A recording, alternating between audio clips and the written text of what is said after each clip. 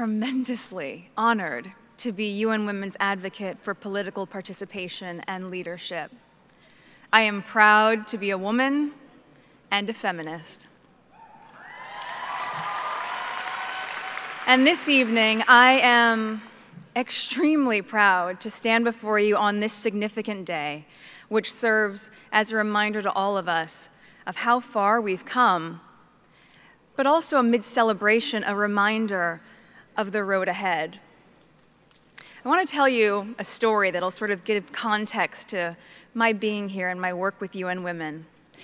When I was just 11 years old, I unknowingly and somehow accidentally became a female advocate. It was around the same time as the Beijing conference, so a little over 20 years ago, where in my hometown of Los Angeles, a pivotal moment reshaped my notion of what is possible. See, I had been in school watching a TV show in elementary school, and um, this commercial came on with the tagline for this dishwashing liquid, and the tagline said, Women all over America are fighting greasy pots and pans.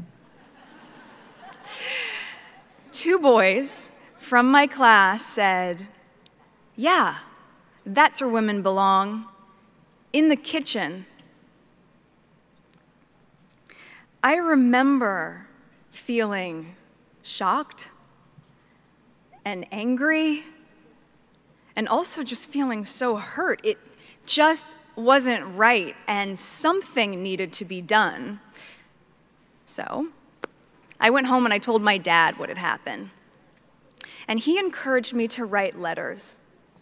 So I did, to the most powerful people I could think of.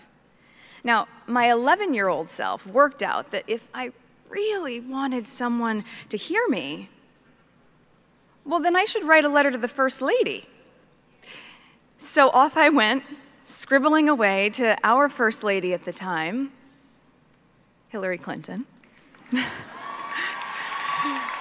I um, also put pen to paper and I wrote a letter to my news source at the time, Linda Ellerbee, who hosted a kids' news program, and then to powerhouse attorney Gloria Allred. Because even at 11, I wanted to cover all my bases. Finally, I wrote to the soap manufacturer. And a few weeks went by, and to my surprise, I received letters of encouragement from Hillary Clinton, from Linda Ellerbee, and from Gloria Allred. It was amazing. The kids' news show, they sent a camera crew to my home to cover the story.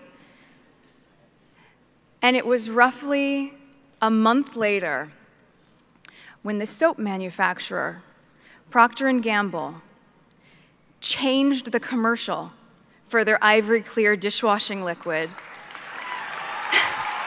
they changed it from women all over America are fighting greasy pots and pans to people all over America. It was at that moment that I realized the magnitude of my actions at the age of 11, I had created my small level of impact by standing up for equality. Now, equality means that President Paul Kagame of Rwanda, whose country I recently visited as part of my learning mission with UN Women, it means that he is equal to the little girl at the Gihembe refugee camp who is dreaming about being president one day. Equality means that UN Secretary General Ban Ki moon is equal to the young intern at the UN who is dreaming about shaking his hand.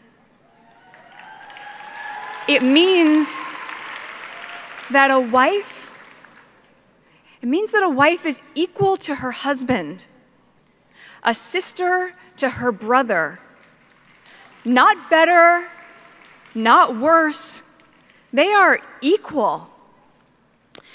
UN Women, as you guys know, has defined the year 2030 as the expiration date for gender inequality. And here's what's staggering the studies show that at the current rate, the elimination of gender inequality won't be possible until 2095. That's another 80 years from now. And when it comes to women's political participation and leadership, the percentage of female parliamentarians globally has only increased by 11% since 1995. 11% in 20 years? Come on. This has to change. Women Women make up more than half of the world's population and potential. So it is neither just nor practical for their voices, for our voices, to go unheard at the highest levels of decision making. The way that we change that, in my opinion, is to mobilize girls and women to see their value as leaders and to support them in these efforts. To have leaders, such as President Kagame of Rwanda, continue to be a role model of a country which has a parliamentary system comprised of 64% female leaders. I mean, it's the highest of any government in the world, and it's unbelievable.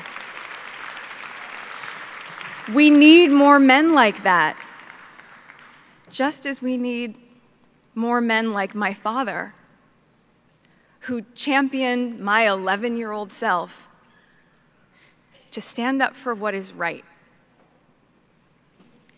In doing this, we remind girls that their small voices are, in fact, not small at all, and that they can affect change.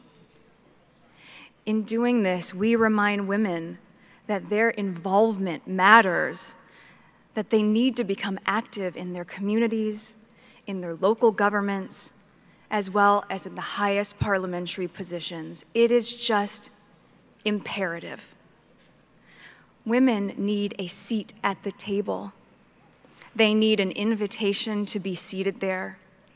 And in some cases, where this isn't available, well, then you know what? then they need to create their own table. We need we need a global understanding that we cannot implement change effectively without women's political participation. It is said that girls with dreams become women with vision. May we empower each other to carry out such vision because it isn't enough to simply talk about equality. One must believe in it. And it isn't enough to simply believe in it. One must work at it. Let us work at it together, starting now. Thank you so much.